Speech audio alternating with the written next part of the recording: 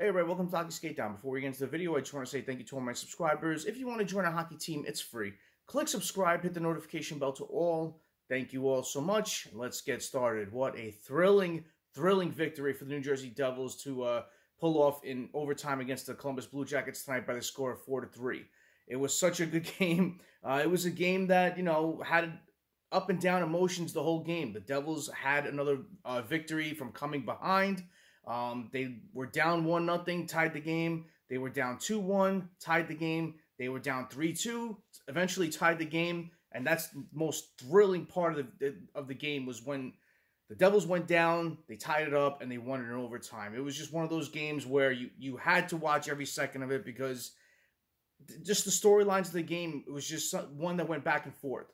Um, the Devils couldn't solve Merzlikins. The Devils did also have a lot of uh, luck on their way as the Columbus Blue Jackets did hit a lot of posts.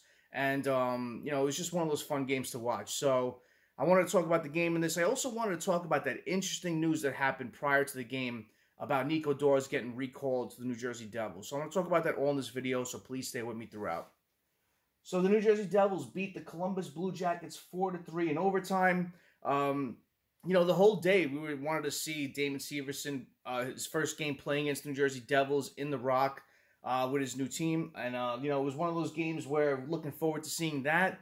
Uh, but, you know, it was just one of those back and forth efforts. You know, the, the Devils went down early. The Devils went down uh, off another rebound goal that uh, Vitek gave up. Um, you know, but they, they were able to tie the game.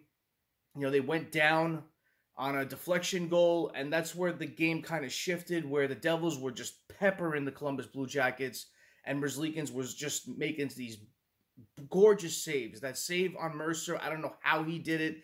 That was a clear rebound. Even Dano went crazy when he when he uh, was calling that one. You know, he kind of made a kick save and he kind of extended his leg to get that rebound. I thought that was a guaranteed goal, but you know, he made that beautiful save on Mercer. It was just one of those games where Merzlikins was on but the Devils were lucking out. You know, the Columbus Blue Jackets had a lot of uh, opportunities, but Vitek Vanecek played really well in net, uh, got hurt, and, you know, off that hard shot, and, um, you know, still still managed to play the rest of the game. He played really well, but, um, you know, he was making the save, but the Devils were also lucking out because the Columbus Blue Jackets were hitting a couple of posts, and, um, you know, it was just a fun game. But when the game was tied up, when Mercer made that uh, beautiful shot off that great pass from Shimon Nemec, uh, they tied the game, but then Siegenthaler made that bonehead play with the puck and turned it over. And of course, all of our turnovers this year always lead to goals and bury this team. And uh, when that happened, it was only a couple of minutes left in the third period. And that's where this game was one of those games where you have to look back on later in the year and say, this is the game that really changed the season for the Devils. Because if that would if that would have happened a couple of uh, games ago, a couple of weeks ago, you know, the Devils would have held, held their head down and, you know, they would have lost the game. But, you know, when Luke Hughes got that puck behind the net and he skated up that ice, what a gorgeous goal he scored. End to end rush and shot and scored against Merzlikins. What a beautiful goal. It was Niedermayer esque. It kind of reminded me of that, that goal that Niedermayer scored against the Detroit Red Wings in the finals.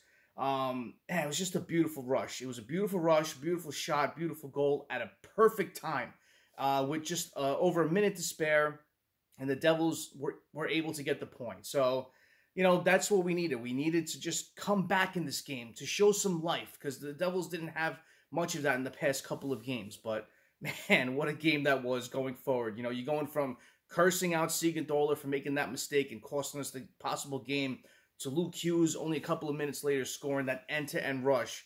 Man, I was just stoked at this game. You know, it was awesome. But then in overtime, Timo Meier scored on a breakaway, and it's just been fitting for the way Timo's been playing.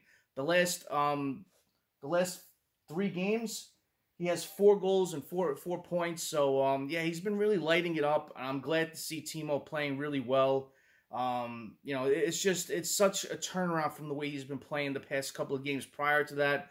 And uh, you know, I'm glad to see Timo going because it's a lot. When players score when players sign these big contracts and a lot of expectations are there you see it a lot where these players kind of change their play and you know a lot is expected of them and they can't live up to it. But you know i'm glad to see timo playing really well now because we need him. We need him to put that puck in the net. We need him to be that physical force out there that power forward that this team's been lacking. And, uh, you know, I'm glad to see him start to put pucks in the net. So this was an awesome game. Uh, if you're a Devils fan, you know, just just seeing them come back in this game. They've done it a lot this year where they had a lot of comeback victories, and this was probably one of the best ones that we've seen. And, uh, you know, I, I, seriously think this is going to be one of those games that really change uh, the tra- trajectory of the season for the Devils. So just keep that in mind going forward. You know, if the Devils really go on a tear from now, this is going to be one of those games to look back on.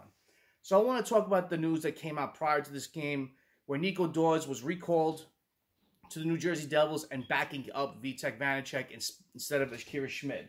Uh, what's interesting to note is what Lindy Ruff said. So per, Lindy, uh, per James Nichols, uh, he said that Lindy Ruff, uh, he said that Daws' recall is to get NHL reps against NHL shooters. No corresponding move yet. So the, the key word is yet because the, the roster freeze is going to be lifted. And who knows? Maybe Fitzgerald has a trade he's going to make. Um, I'm hoping that happens because, you know, the Devils need that. They need consistency in net. They need that confidence to, you know, just to say, just to have, you know, you know, you have two uh, goaltenders that can easily win a game for you. Uh, Schmid's been inconsistent. So has Vitek. So we need consistency in net to help us get forward. So I'm curious to see what the move is going to be. You know, is it just going to be that Nico Daws is going to be backing up Vitek Vanecek going forward? Is this something to kind of pick up Schmid from the way he's been playing? You know, maybe have him sit out a couple just to get his mind right and, uh, you know, work harder into getting back to being the backup or being that 1B? Uh, or the Devils just going to make a move going forward. And, um, you know, I think you're at a point in the season where, you know, you, you need to do something. You need to do something in net. You need to do something on defense to help this team out because we have the offense. We have the players who can put the puck in the net. We've seen it time and time again, but you can't keep trying to win games when your offense is trying to always play catch up. You know, you need to have a competent goaltending. You either need that starter going forward and a, and a good backup, or you need that 1A, 1B tandem. So I'm hoping Fitzgerald can solve that, those problems in net because there's a lot of NHL teams looking for um, looking to make some moves to help out in that regard as to get a goaltender for you know going into the the trade deadline. So curious to see what happens with this Nico Daws call up and what it means for the Devils and what Fitzgerald has up his sleeve. So comment below. What do you think about the game? What do you think about the Nico Daws call up? Comment below and let me know. Thank you all for watching. I really appreciate your time. Um, smash that like button if you haven't done so and subscribe to Hockey Skatedown. It's free and join our hockey team. Thank you all so much. Have a great rest of the night. Have a good day tomorrow. Take it easy. Stay safe.